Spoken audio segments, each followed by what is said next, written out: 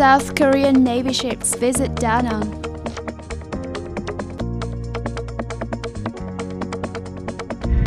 Development of community-based ecotourism in Hoa Bắc. It's great to see you back in DRT News. On September the 18th afternoon, Secretary of the City Party Committee, Chairman of the City People's Council, Wei Sung An, had a meeting with the Ambassador Extraordinary and Plenipotentiary of South Korea to Vietnam, Mr. Lee Hyuk, on his working visit to Da Nang City.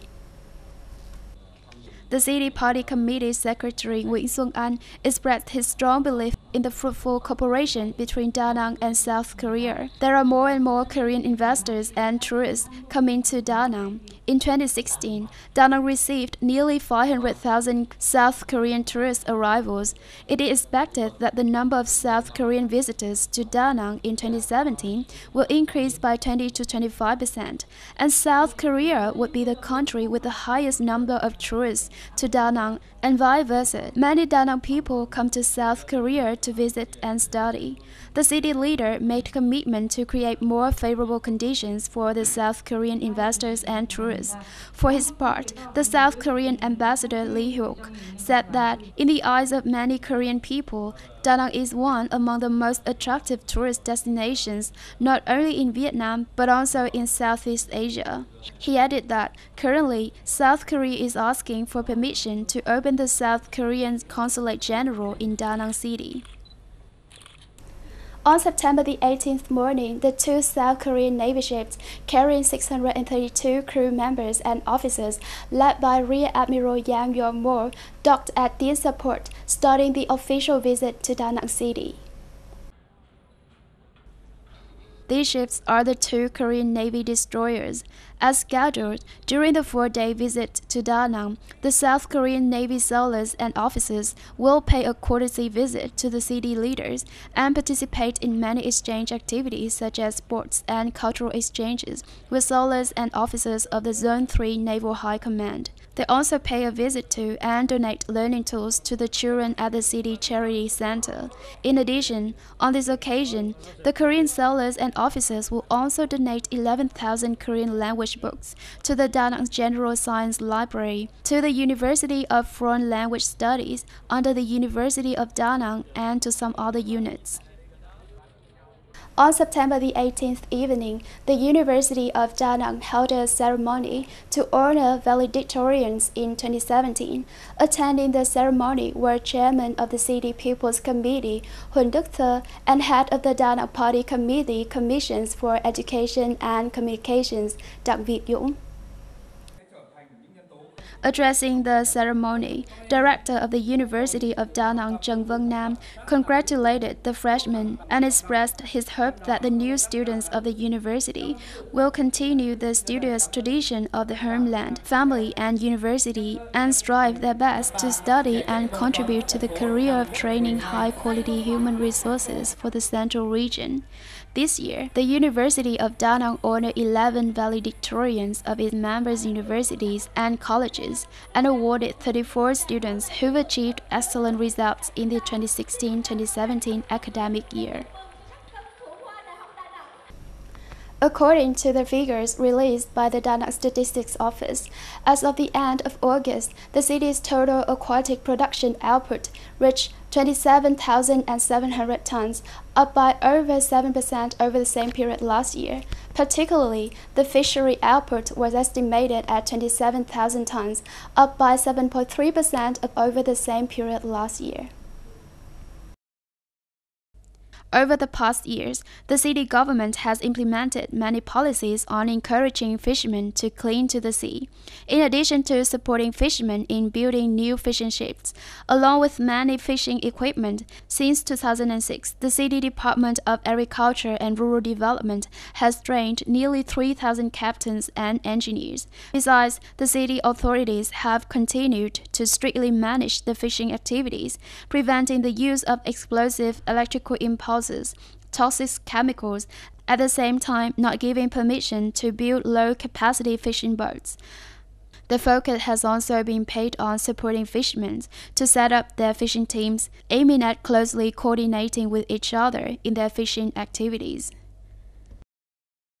According to the General Statistics Office, the amount of fruits and vegetables imported into Vietnam in the first eight months of 2017 soared with a total value of up to 1.06 billion US dollars, doubling that of the same period of 2016. Fruits and vegetables are also the group of products experiencing the highest growth rate among the groups of imported goods. Currently, Thailand is the country's largest exporter of fruits and vegetables. According to the General Department of Vietnam Customs, in the first seven months of 2017, the import value of fruits and vegetables from Thailand was at 516.8 million US dollars, accounting for more than 50% of the total fruits and vegetables imported value of the whole country. Meanwhile, Vietnam's fruits and vegetables exports in the first eight months of this year reached more than 2.3 billion US dollars, up by 47% over the same period of the previous year. China, Japan, the US, and South Korea have been the four leading importers of Vietnam's fruits and vegetables, accounting for 85% of the total export value of this group. Vietnam Global Environment Facility Executive Board has just held a meeting on evaluating one-year implementation of the project Preservation of Cơ Ethnic Culture in association with community-based ecotourism development in Hoa Bắc Commune, Hoa Vang District. The project will be implemented in Talang and Giang Bi hamlets, Hoa Bắc Commune, in the two-year period of 2017-2018, with a total cost of more than 2 billion dong.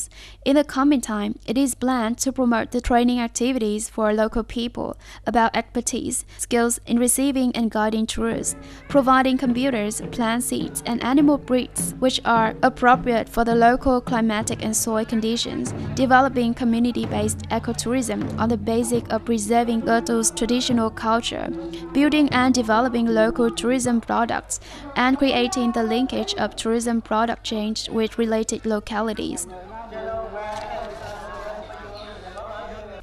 On September the 18th afternoon, the Da Nang Association for Supporting Orphans and the Disabled held a press conference to introduce the sixth Pink Hearts Art Show 2017. The program, which is organized by the Da Nang Association for Supporting Orphans and the Disabled, in collaboration with the Trương Vương Theatre and the Da Nang Radio and Television, will take place at 8 p.m. on September the 28th at the city's Trương Vương Theatre and will be broadcast live on Channel. In addition to evaluating the performance of the association over the past year, as well as honoring the benefactors and praising the typical examples of disabled people and orphans, at the program, works made by the disabled will also be auctioned to raise funds.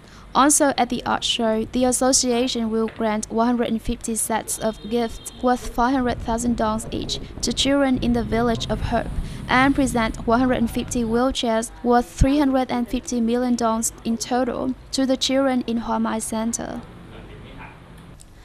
At number 52 Bongi Street in Trà District, Da Nang City, a group of international artists currently living in Da Nang have opened an augmented reality art exhibition, the first of its kind in Vietnam and also in Asia.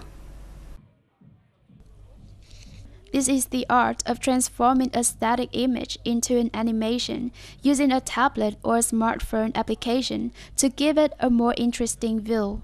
The artist who has contributed to bringing this new type of art into Vietnam is Chris McBride, a British cartoonist and animator living and working in Da Nang. The exhibition also features 31 paintings with graphics techniques and technology, which can be viewed through using the iJack application. The exhibition will last until September the 30th.